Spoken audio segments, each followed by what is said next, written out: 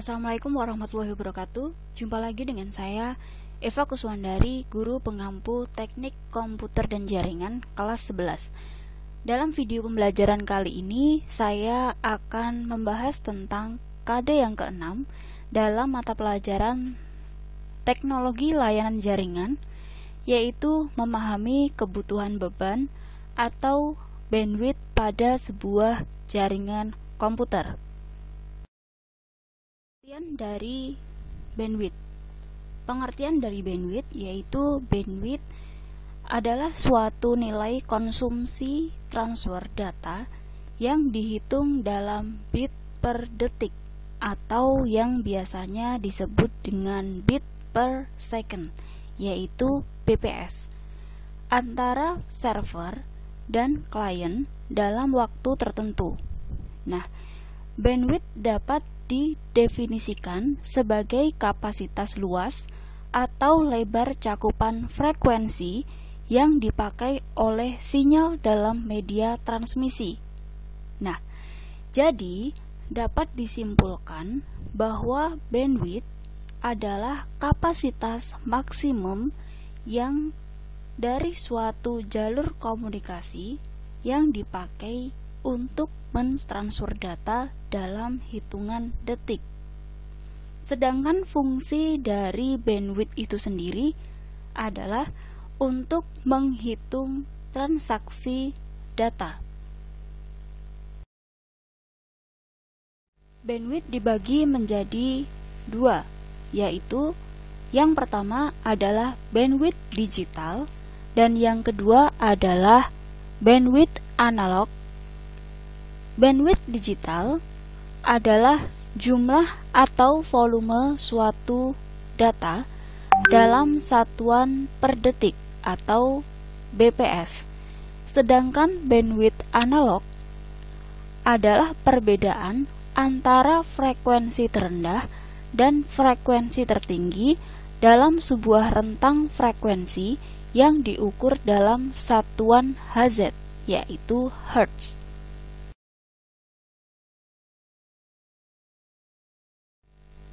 Sekarang kita akan bahas tentang kebutuhan bandwidth dalam sebuah jaringan.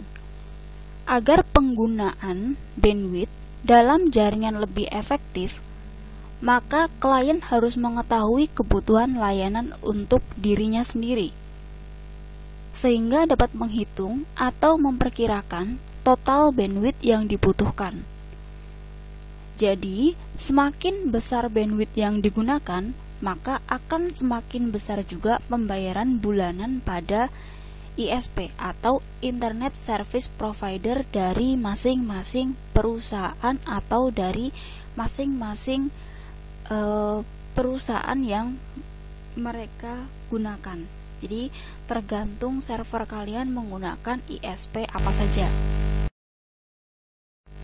Memahami analisis kebutuhan bandwidth.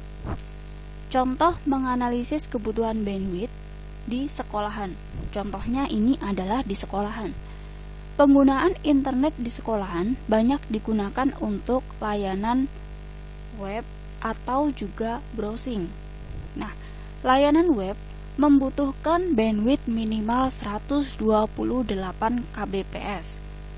Kalau di sekolah tersebut terdapat dua komputer, yang masing-masing ruangannya terdapat 40 komputer, berarti analisisnya adalah 40 kali 2 sama dengan 80 komputer karena ada dua lab komputer. Jika ada lebih berarti tinggal mengalikan. Jadi, kebutuhan bandwidth minimal adalah menggunakan 128 kbps dikalikan dengan jumlah komputer tadi yaitu 80 sama dengan 10.240 kbps atau sekitar 10 mbps. Nah, kenapa mengetahui kebutuhan bandwidth? Nah, kenapa kita perlu mengetahui kebutuhan daripada bandwidth? Agar penggunaan bandwidth lebih efektif, klien memang harus mengetahui kebutuhan layanan untuk dirinya, sehingga dapat menghitung total bandwidth yang dibutuhkan seperti yang sudah disampaikan tadi sesuai dengan ISP yang sudah ditentukan. Untuk lebih jelasnya, mari kita lihat dari studi kasus di bawah ini. Studi kasus yang pertama. Sebuah sekolah menengah kejuruan negeri di Malang memiliki jaringan komputer yang terdiri dari dua lab Komputer yang terhubung untuk browsing tidak digunakan untuk download, sehingga dia hanya bisa diberikan akses untuk browsing, tidak digunakan untuk download. Kemudian, hitung kebutuhan bandwidth secara ideal.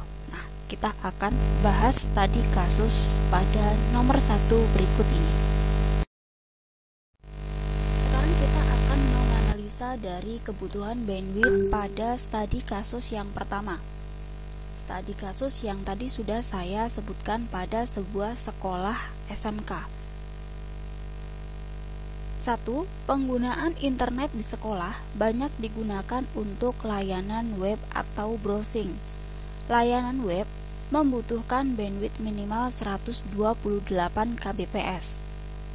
Lab komputer dua ruangan masing-masing memiliki 25 komputer sehingga totalnya 25 kali 2 sama dengan 50 komputer. Kebutuhan bandwidth adalah 128 kbps, maka dikalikan dengan 50, yaitu besarnya adalah 64.000 kbps. Nah, catatannya, kebutuhan 128 kbps adalah gambaran umum untuk layanan akses web atau browsing jadi untuk melakukan analisa di klien yang menggunakan layanan lainnya harus melakukan analisa mendalam pada akses bandwidth layanan yang digunakan. Sekarang kita bahas tentang studi kasus yang kedua. Sebuah perusahaan toko online mempunyai tujuh karyawan yang terdiri dari customer service dua orang, kasir dua orang, kemudian online marketing satu orang, packing dua orang, dan manajer satu orang. Nah, berapa bandwidth yang dibutuhkan oleh perusahaan tersebut? Analisa dari studi kasus yang kedua satu, semua karyawan membutuhkan koneksi internet dengan servis web kecuali bagian packing karena bagian packing hanya mengemas, tidak menggunakan uh, akses atau servis web. Yang kedua, jumlah komputer adalah dua buah komputer untuk customer service, satu komputer untuk kasir, dan satu komputer marketing, dan juga satu komputer untuk manajer. Yang ketiga, jika semua komputer digunakan untuk akses web, masing-masing komputer membutuhkan bandwidth sebesar 128 kbps, maka perhitungannya adalah 5 kali 128 kbps sama dengan 640 kbps.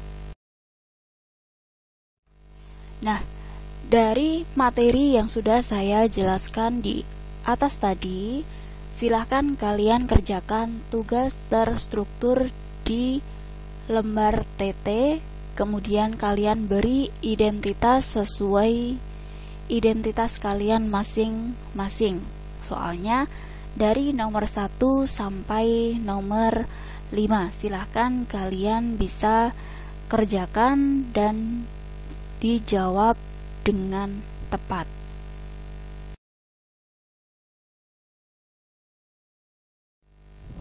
Sekian materi pembelajaran dari saya untuk di memahami kebutuhan bandwidth dalam sebuah jaringan. Terima kasih. Wassalamualaikum warahmatullahi wabarakatuh.